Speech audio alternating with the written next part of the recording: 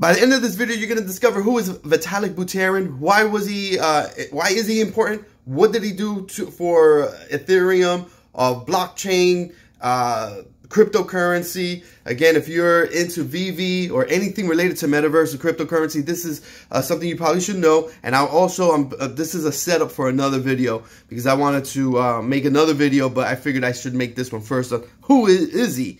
And then uh, the next video is going to be what is he doing as far as his next innovation, his next uh, invention, for lack of a better term, uh, that will uh, con contribution uh, for metaverse blockchain technology. So uh, by the end of the video, you're going to discover all that. And don't forget to join the Discord for the giveaway information, little secret hints. Uh, I'll be get ahead. If you're in the Discord, I will mention in the Discord when I'm going live and also a hint to the question or I'll be mentioning the subject of the question in the Discord. And again, we're building a community where we all can learn from each other and build. And this video is being promoted by Dokta Strange, hip hop artist. Link in the description for his Spotify, YouTube. Drop him a follow, throw him into the rotation. And also, he has created an NFT with his music. Artist, uh, look, lyricist. Give it a, a shout. Give, give it a try. Listen. I mean, it is good. It is good.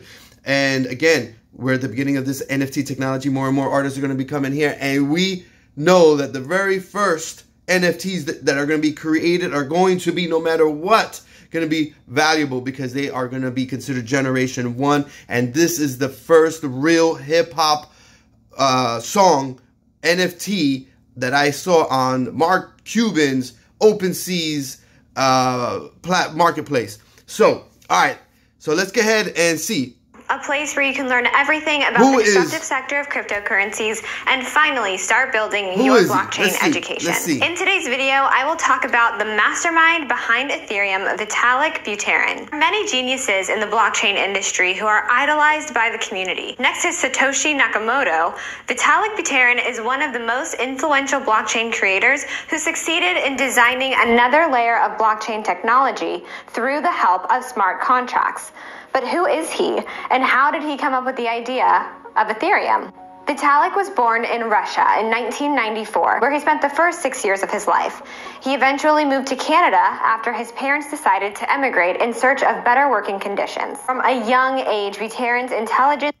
So pretty much he built Ethereum, all right? So just just wanted to put out there if you missed it. And academic performance were recognized by everyone. He, he looks like a genius. Math, Look at him, programming, man. and even economics, which helped him move to a program for gifted children. As a consequence of his high intelligence, Buterin found it hard to talk with his peers, which forced him to become introverted and spend his time playing video games. In fact, games were a turning point for his beliefs regarding authority and centralization, because they made him realize how centralized systems can affect his life. Buterin's autobiography revealed that he was devastated when Blizzard decided to change a spell in his favorite video game, World of Warcraft.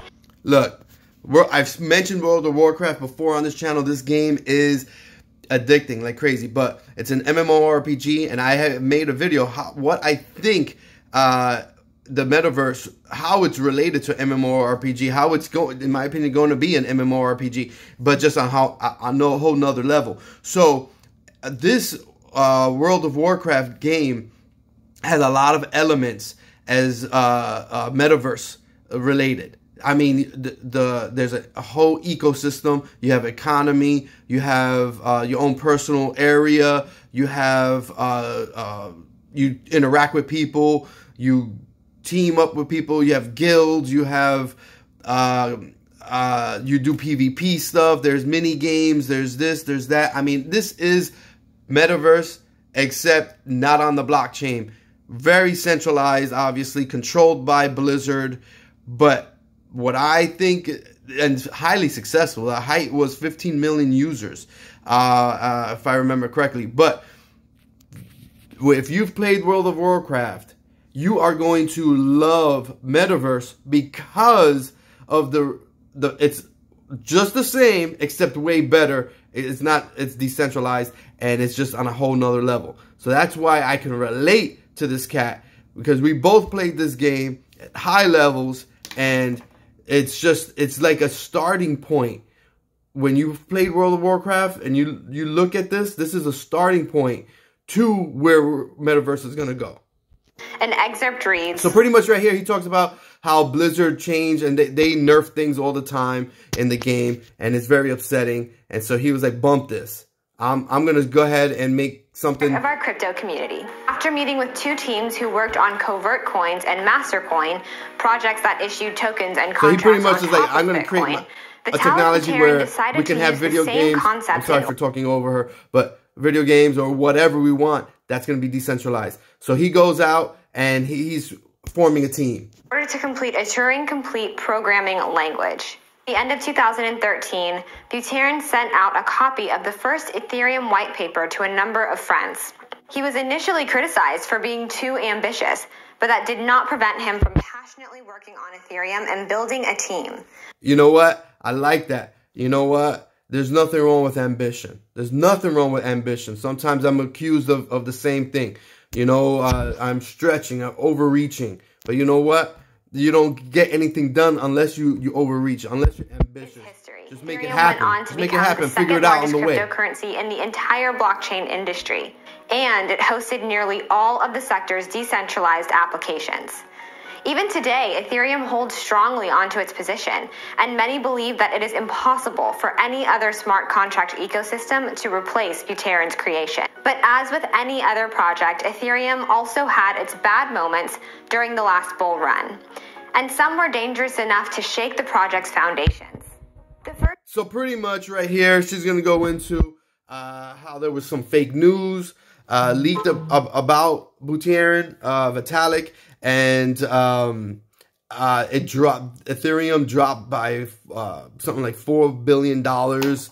Uh, it was you know people just and then he had to go and that's why that picture he he had to post that and you know with the uh, cur the current price of uh, Ethereum or, or, whatever and his wallet address and all that because uh, it was it was dropping. So this is dangerous because there's if something was to happen to him, Ethereum may get hit hard because it did. Fake news came out that he he died in a car accident and it dropped like a rock, you know. And so we got to keep that in the back of our our minds too, you know. Anything could happen. What happens if you know, uh, you know, whoever's running whatever project that you're you're highly invested in, what happens if something happens there? If they're bought out or if they get if they pass away unexpectedly.